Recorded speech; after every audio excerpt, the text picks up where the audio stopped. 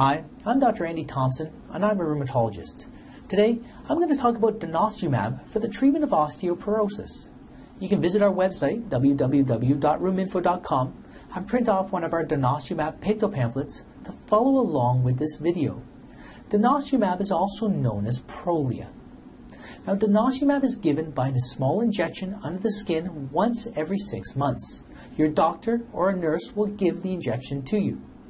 There are a few things you need to do when taking denosumab. You should discuss these with your doctor. First, it's important to take calcium and vitamin D.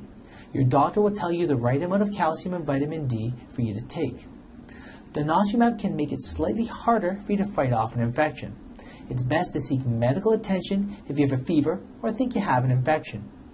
Do not take denosumab if you're pregnant or plan to become pregnant. Medicines like denosumab have been associated with a very rare problem with the jaw. Let your doctor know if you develop sudden pain in the jaw. And finally, your doctor will monitor your response to denosumab by testing your bone mineral density. Now, this is usually done every one to three years. Denosumab can cause a rash, itching, or dry skin. Let your doctor know if you develop a rash. Denosumab can also cause bone, muscle, or joint pain. And finally, denosumab can very rarely lower the calcium level in your blood. Tell your doctor if you develop tingling in the hands, feet, or around the mouth, muscle cramps, or twitching, or muscle weakness. If you're taking denosumab, you should call your doctor if you feel sick and want to stop, if you're concerned about any side effects.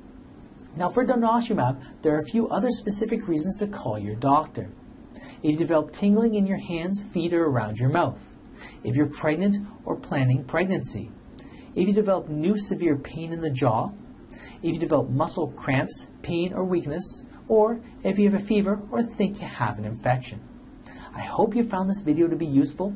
For more information, please refer to our website at www.rheuminfo.com.